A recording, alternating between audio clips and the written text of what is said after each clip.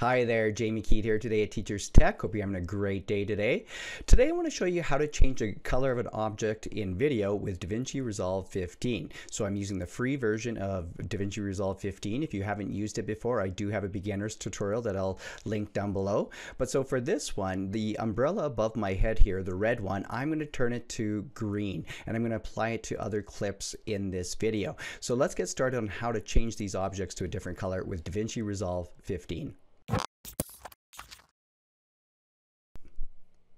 So I've already brought the media into my media pool that I'm going to use here and I've put together in my edit kind of the different sequence of this umbrella going around and I want to change the color to green in all of these or I could change it to any color but for this example I'll do green. So to do this what I need to do is look at the very bottom we need to go to the color section. So I'm going to uh, click on color section and I'm ready to start. So to do this go up to this uh, thumbnail over here right click on it and we need to create a node. So you can see add node go to add serial and click. We have our node. So this is a node. Now we need to go down to the bottom to the qualifier, select qualifier, and we have our pickers over here. So I'm going to actually use my picker and I'm going to select a, a color from this umbrella. You can see how it kind of differs a little bit with shading and everything. So there's some adjustments that you have to do to try to get as good as you can. The more adjustments you do, you know, the more time it takes. But I'm going to click right about here over on the right hand side you can kind of see what happened but I can turn on the highlight over here to see what's selected. So I zoom out uh, I can see it's picked up a little bit of other things over here but not too much which I might go away with some adjustments. Now I can make some adjustments through the hue. So if I I'm going to increase the size of this and you can see if I drag it too much so that wasn't good. So I'm just going to try to get that as nice and tight as possible. Uh, same thing with the saturation. As I bring this around maybe right about there. I can even make some more fine tune through the matte finesse here. So I could go through and add, uh, change these numbers. And you can always reset these numbers. So you can go through and just see what works best uh, for you.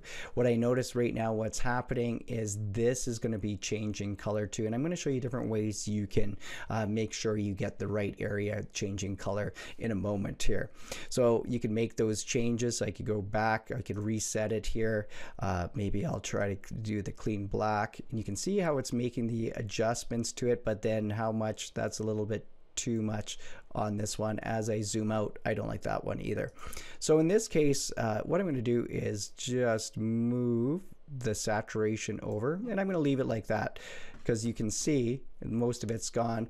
And now I'm going to make my uh, change on the color. I'll turn off my highlight here and to change the color, I'm going to go down to the hue at the bottom and I'm going to go to the left because that's where uh, the green will come in. Uh, I could make it a little bit more exact around the edges here, but I'm going to leave uh, leave this for now. I could try zooming up and I could try adding a color. If I hit the plus, I could try to go to it and see if I could add a little bit just like that.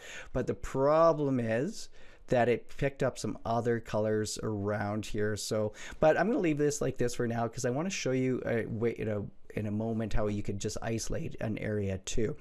So if I hit play, we have our green umbrella like so. Now I'm going to go to my uh, next clip. You can see this is the one I want to change. So what I can do, and if it works, uh, it doesn't work all the time perfectly, but I can create a shared node. So I'm going to save as shared node. This is called shared node one now. I can go over to here and I'm actually going to add this shared node. So right click and I'm going to go add node and share node ones right here. Click and look at that. We have our green umbrella like so. So if I hit play, that went through and added. Look at a little bit of green over here too. So that's how you can make some color changes uh, and also make a shared node to make things uh, go quick. If you're making adjustments to your shared node though, you'd have to right click and turn off the lock like this. But the thing is, any changes I make to this one is going to be affected in the other one too. So remember, I can make adjustments, and so it might not uh, work out perfectly, and it might uh, not, it might wreck the other one. So if you ever want to delete nodes or change, you can see I can reset the node grade. I could delete. So if I could just delete it, you can see how it goes away. If I was adding, um, uh, I could just do each frame by doing the same way before. I could just add my node like so. So if I go ahead and add node, add serial, then go down and make sure my picker, I will select my picker, go up, get my color, go over to my highlight, and I'm going to try uh, adjusting my hue again, like so. And I'm going to show you, this is going to pick up a little bit extra things on here, but I want to try to get as much detail on here. I'll uh, clean this up a little bit more through here. So I'm just going to leave it like that for this example, but you can see I have all these extra things on here. So if I turn this off, I'll turn this green first through here so I don't have to turn it off and I you can see what turned green. Now I could go through and play uh, with a different hue and saturation, matte finesse, and maybe try to go through that way. But one thing you can do is add a window for a certain that whatever the changes you make only affect a certain area. So if I go over here uh, to window, and I'm going to just draw it around this. So I'm going to select this curve one, and I'm going to draw this uh, right around this area too because I can just and when I join it notice all of this now isn't selected. So if I go ahead and play I'll go back there. Only the so now you can see this doesn't work too well right there. So I might have to make that bigger. I didn't think about where I was. So you can make the adjustments. So as I go back you can see so make it big enough though so everything kind of fits in it for the clip that you need. So if I go this way and it's working fine like that.